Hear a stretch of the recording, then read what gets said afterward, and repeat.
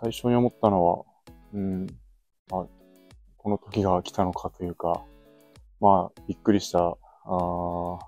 がまず最初に、えー、来ましたね。やっぱり、えー、まだまだできると思ってたし、まあでも彼が決めたことなので、それはあまあ素晴らしいことだと思うし、やっぱり、えーうん、残りのシーズン、悔いなく戦ってほしいなっていうふうに思いましたね。頼りでしかないですよね。やっぱり大黒柱。そうまあ、僕が、あのー、プロキャリアを始めた時にはもう、彼は日本でプレーしてて、もうずっと十何年、トップで、えー、本当に日本のリーグに欠かせない人物になってて、やっぱり敵として戦ってた時は、どうやって止めたらいいんだっていう、もう本当にうん、どうしようもないというか、どう止めたら本当に守れるのかっていう、うことをすごい考えてたし、まあ、チームとしても苦しめられたですけど、川崎で、えー、一緒になっても本当にいい頼りになるし、やっぱり苦しい時にいい助けてくれる、本当に頼りになる選手でしたね、やっぱり。はい。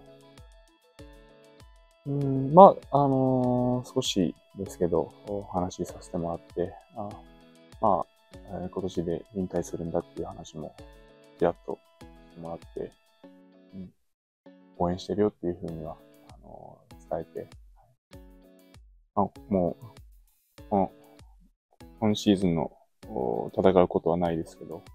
プレシーズンで、えー、彼と一緒にバスケットができたっていうところは、すごく良かったなっていうふうには思います。うんやっぱりどの試合も、やっぱり彼は常にスコアリーダーで、やっぱり、うん、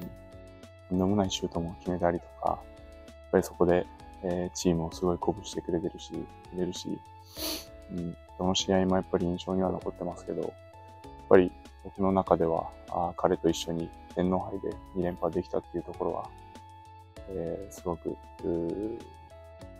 これからの人生絶対忘れない出来事だと思うし、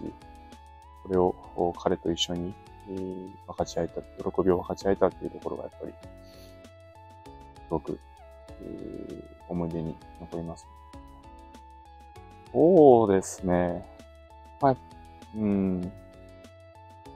意外な一面っていうのはわかんないですけど、もう本当に、えー、コート内では誰よりもハードワークするし、誰よりも長くワークアウトやるし、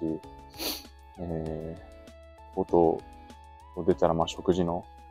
ことに関してもやっぱりしっかりと自分で考えて、あの、食べるものを考えて食事とったりとか、睡眠もしっかりとってるし、水分もとったりとかも本当に常にバスケットボールのことだけを考えて、えー、やっぱり、えー、本当にプロフェプロフェッショナルなところを見せてもらってたし、で、まあ、やっぱりプライベートのところではやっぱり家族を大事にしてた、本当に彼らしい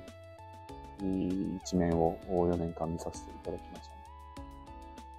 たね。最近はどうですかね多分、あの、遠征先とかでもフルーツ入れて、ミキサーで、多分、オリジナルのジュース作って、楽しそうに食事してると思いますよ。はい。照れくさいですけど、本当に、えー、まあ、まだあシーズン始まったばかりなので、えー、怪我なく、えー、